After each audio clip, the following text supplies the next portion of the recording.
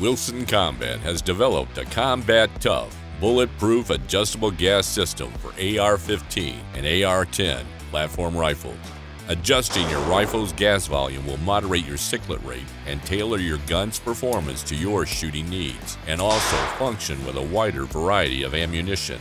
It is almost a necessity if you shoot your rifle both suppressed and unsuppressed due to the substantial difference in the amount of gas required for proper function.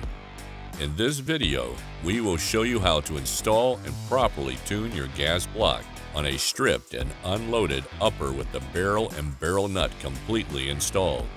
You will need a standard flathead screwdriver to make the adjustments and the supplied 330 seconds Allen wrench for the set screws to install the block.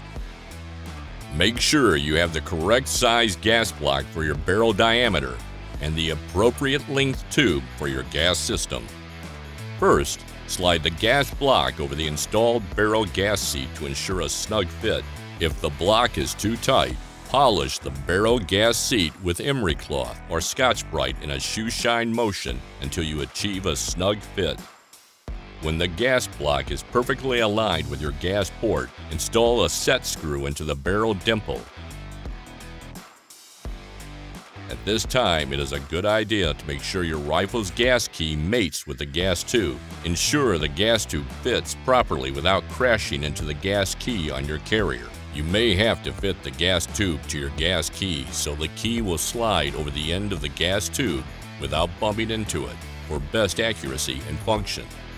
You can verify the alignment by removing the bolt from your carrier sliding the carrier into your upper receiver until the gas key slides over the end of the gas tube.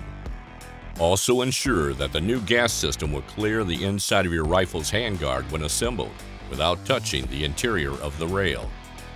A best practice is to perform a test installation of the gas block assembly to confirm gas port placement and block adjustment by test firing with a completely open gas valve, turned completely counterclockwise. Once you verify gas flow, you can use thread locker on your set screws for a semi-permanent installation. To tune your gas block, turn the adjustment screw all the way to the right to completely close off all gas. Then back to the left counterclockwise, three or four clicks. You are now ready to begin your gas block adjustment with live fire. Load one round only into the magazine and fire a shot with a loose hold on the rifle. It will probably not lock the bolt to the rear.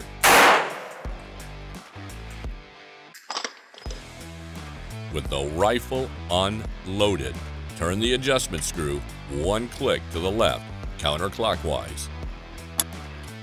Fire another single shot and continue this procedure until the bolt locks open.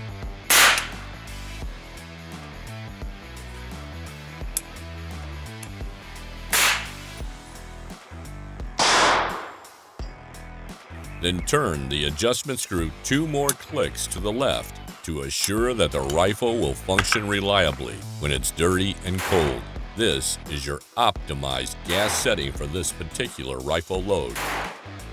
We recommend you turn the adjustment screw to the right until fully closed while counting the clicks so you will know what your optimal setting is.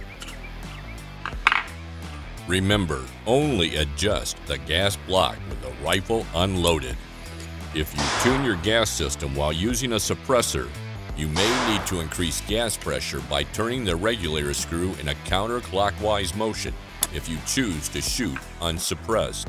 If your rifle short strokes after getting fouled during shooting, further open the regulator in a counterclockwise motion until your system has sufficient gas to reliably lock the bolt back on an empty magazine. The internal stainless steel regulator assembly actually cuts carbon like an auger as you adjust the block, ensuring that it will not clog or seize during or after heavy use. Unlike other adjustable gas systems, the rugged, durable Wilson Combat design continues to be adjustable for thousands of rounds of heavy use.